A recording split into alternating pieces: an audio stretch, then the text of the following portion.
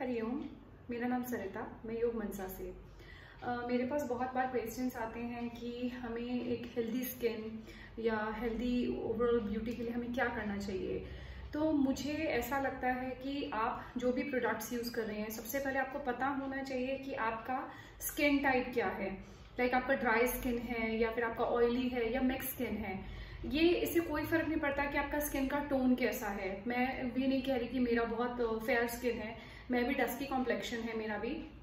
पर ये बहुत इंपॉर्टेंट है आपके लिए कि आपका स्किन किसी भी टोन का हो, कोई भी कलर कलर हो कॉम्प्लेक्शन हो बट आपका स्किन हमेशा एक हेल्दी स्किन होनी चाहिए ग्लोइंग स्किन होनी चाहिए। और मोस्ट इंपॉर्टेंट कि अगर आप बिना मेकअप के भी हैं तो भी आपकी स्किन कितना ग्लो कर रही है, वो बहुत मैटर करता है। और मैं पहले भी जैसे अपने वीडियोस में बताती हूँ कि मैं कभी किसी चीज़ के अगेंस्ट नहीं हूँ, ना ही किसी चीज़ के बहुत फेवर में हूँ। जो मैंने प्रैक्टिकली अपनी लाइफ में किया है, वही मैं हमेशा अपनी वीडियोस में शेयर करती हूँ। तो आज मैं आपको बताना चाहूँगी कि मैं खुद क्या क्या चीज़ें यूज़ करती हूँ अपनी स्किन के लिए। तो सबसे पहले ये है हल्दी ऑयल ठीक है? ये हल्दी ऑयल है, इसको मैं हमेशा यूज़ करती हूँ अपने नाइट क्रीम की तरह। जो लोग नाइट क्रीम के लिए कुछ कुछ क्रीम्स यूज़ करते हैं, मैं हमेशा हल्दी ऑयल यूज़ करती हूँ नाइट क्रीम के लिए, क्योंकि जैसा कि मेरा पूरा बैकग्राउंड योग और आयुर्वेद से रिलेटेड है तो आयुर्वेद में एक चीज़ कही गई है, जो आप खा सकते हैं, वही आप लगा सकते हैं। तो मैं भी उसी को ही इम्प्लीमेंट करती हूँ कि जो हम खा सकते हैं, वही हम लगा सकते हैं। जैसे कि अगर मैं कभी कोई सैलड काट रही हूँ तो मैं उसे भी कई बार थोड़ा सा बचा के फेस पे अप्लाई कर लेती हूँ वेदर आपका टमाटर है खीरा है या कोई और कोई वेजिटेबल है जो मुझे लगता है कि उसको अप्लाई किया जा सकता है तो मैं उसे अप्लाई कर लेती हूँ।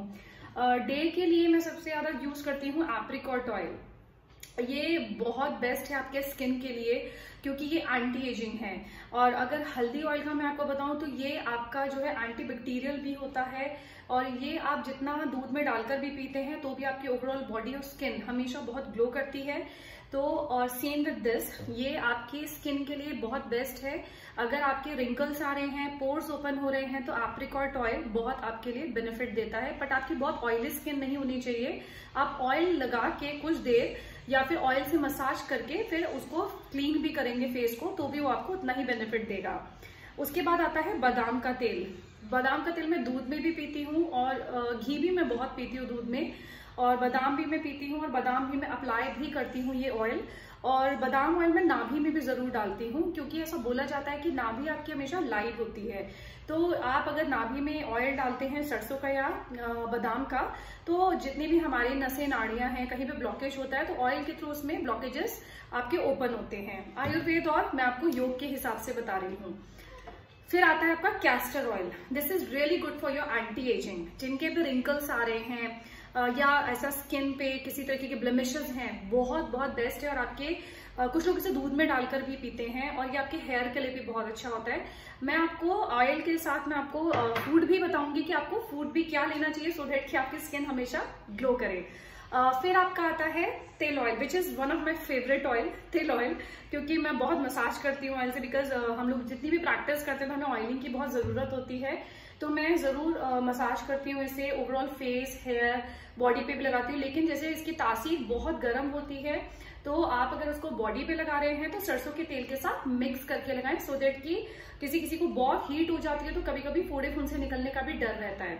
मुझे बहुत ऑयल सूट करते हैं, इसलिए मैं बहुत ऑयल अप्लाई करती हूँ, और आप, अगर आपको लग रहा है कि आपको कोई पर्टिकुलर ऑयल से कोई प्रॉब्लम हो रही है तो आप उसको यूज़ करना बंद भी कर सकते हैं। मैं केवल आपको एक सजेशन दे रही हूँ। और ये अलम या इसको फिटकरी भी बोला जाता है।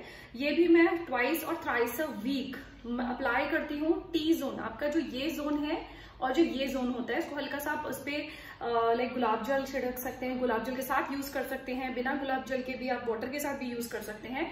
हल्का सा अप्लाई करके इसको आप ड्राई होने दीजिए, उसके बाद आप उसको धो सकते हैं, या इसके ऊपर अगर आपको लगता है तो हल्का सा उसको उसको हल्का सा साफ़ करके आप कोई भी क्रीम या ऑयल अप्लाई कर सकते हैं, या नाइट में भी यूज़ कर सकते हैं, ये आपकी स्किन टाइटनिंग के लिए बहुत इंपॉर्टेंट है।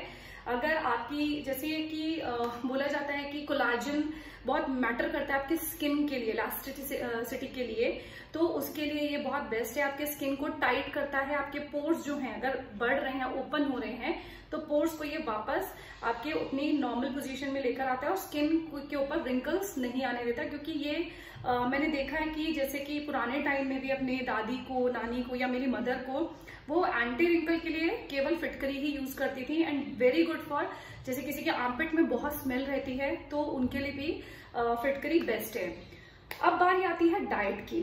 तो डाइट अगर आप बहुत ज़्यादा मिर्च मसाले, बहुत ज़्यादा तेल खा रहे हैं वो भी आपके स्किन पे आता है, क्योंकि स्किन को वो बहुत कई बार मिर्च मसाले डैमेज करते हैं, क्योंकि डाइजेशन प्रॉपरली हमारा काम नहीं कर पाता, कई बार हम नहीं डाइजेस्ट कर पाते।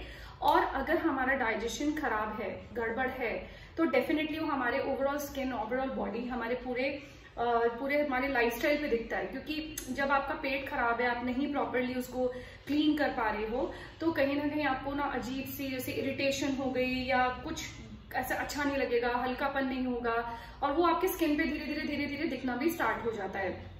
उससे इसके लिए आपको ज़रूरी है कि आपका डाइजेशन बिल्कुल बिल्कुल परफेक्ट होना चाहिए। परफेक्ट भी नहीं हो तो एटलीस्ट ऐसा होना चाहिए कि आपको बहुत ज़्यादा कॉन्स्टिपेटेड आप ना हो। कॉन्स्टिपेटेड अगर हैं तो 100 परसेंट स्किन पे वो कुछ टाइम बाद ज़रूर रिफ्लेक्ट होता है। उसके लिए आप सुबह खाली पेट नारियल पानी पी सकते हैं। और नारियल पानी आपके स्किन पे भी अगर अप्लाई करते हैं अर्ली मॉर्निंग और उसको थोड़ी देर के लिए आप छोड़ दीजिए और उसके बाद ठंडे पानी से नॉर्मल वाटर से भी अगर आप उसको धोते हो तो स्किन पे एक अलग ग्लो आता है। उसके बाद आपका आता है वाटर इनटेक वाटर इनटेक का कई बार ऐसा बोला जाता है बहुत पानी पिए बहुत पानी लेकिन बॉडी जितना आपका मानती है उतना ही पानी पीजिए एक या दो ग्लास आप उसमें एक्स्ट्रा पी सकते हैं। मैंने पर्सनली uh, जो फील करा है सबसे ज़्यादा आपकी स्किन पे जो भी ग्लो, या जो भी तेज जिसको कहा जाता है, या जो भी आप कह सकते हैं कि एक अट्रैक्शन होता है आपके ओवरऑल हर एक पूरी बॉडी में या पर्सनालिटी में मेडिटेशन और प्राणायाम और any form of exercise I am not against of any form of exercise but जैसे कि योग, या आप एरोबिक्स कर रहे हैं जुम्बा जिम जो भी कर रहे हैं, अगर आप उस पर ब्रेथ पे फोकस कर रहे हैं तो बेस्ट है। योग के द्वारा अगर मैं बताऊँ, जितने भी इन्वर्जन हैं, जैसे सर्वांगासन हल आसन कर्णपीड़ आसन आपका शीर्षासन तो ये सारे आसन आपके स्किन आपके हेयर आपके ओवरऑल बॉडी के लिए बहुत अच्छे हैं। स्पेशली स्किन के लिए तो नो डाउट बहुत बहुत अच्छे हैं। मेटाबॉलिज्म आपका स्ट्रांग होगा। मेटाबॉलिज्म स्ट्रांग होता है इन आसन से और मेटाबॉलिज्म स्ट्रांग होता है तो नो डाउट डाइजेशन सही होगा डाइजेशन सही होगा तो ओवरऑल बॉडी आपकी परफेक्ट होगी। Same way meditation meditation is like आपको अपने ब्रेथ पर फोकस करना है, आपको खुद के ऊपर फोकस करना है, अपनी चीज़ों के ऊपर फोकस करना है। तो मेडिटेशन से भी आपकी स्किन पे बहुत अच्छा ग्लो आता है और pranayama. One of my best pranayama मैं बहुत मुझे खुशी मिलती है प्राणायाम करके कुछ लोगों को बोरिंग लगता है। बट बाय गॉड ग्रेस मुझे ना मेडिटेशन बोरिंग लगती है और ना ही मुझे प्राणायाम बोरिंग लगता है। दोनों ही मेरे फेवरेट हैं। आसन भी मेरे फेवरेट है, लेकिन मेडिटेशन मेरे को बहुत अच्छा लगता है करना। और मेडिटेशन आपके ओवरऑल पर्सनालिटी पे दिखता है जब आप अच्छे से मेडिटेट करते हैं किसी अच्छे टीचर गुरु या जो भी आपको सिखा रहा है। उनके अंडर अगर आप प्रॉपरली मेडिटेशन करते हैं आप अंदर अपने अंदर बहुत बहुत चेंजेस देख सकते हैं। आ, बाकी ये भी मैं बोलना चाहूँगी कि जो भी आप चीज़ें कर रहे हैं अवेयरनेस के साथ कीजिए। मतलब किसी की सुन के किसी की देख कर किसी का भी सोच कर नहीं। आप पहले एनालाइज कीजिए कि आपकी बॉडी क्या मांग रही है आपकी बॉडी को किस चीज़ की ज़रूरत है। और मैं उनके लिए भी बोलना चाहूँगी बहुत लोग बोलते हैं कि देखो आ, हम इतनी चीज़ें करते हैं फिर भी हमारे ऊपर कोई चेंज नहीं आता है और लोग तो सिर्फ़ सुंदरता के पीछे ही जाते हैं और लोग बहुत सारी चीज़ों में ये बोलते हैं। तो जो भी ऐसा सोचते हैं ऐसा सोचने की कोई ज़रूरत नहीं है। आप बिल्कुल ऐसा ना सोचें।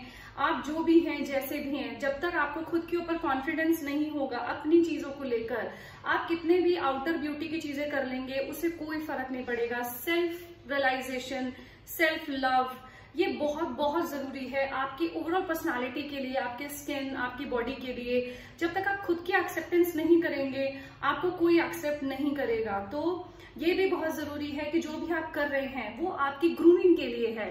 बट आपकी ग्रूमिंग एक्चुअली जो स्टार्ट होती है, वो आपकी होती है इंटरनली अंदर से। जब तक आप इंटरनली अपने आप को ग्रूम नहीं करोगे, अपने आप के साथ ट्रू नहीं रहोगे, तब तक आप आउटर जितनी भी चीज़ें करेंगे वो मोमेंट्री आपके साथ रहेंगी और उसके बाद वो चली जाएँगी। लेकिन एवर लास्टिंग आप और आप ही अपने साथ रहेंगे।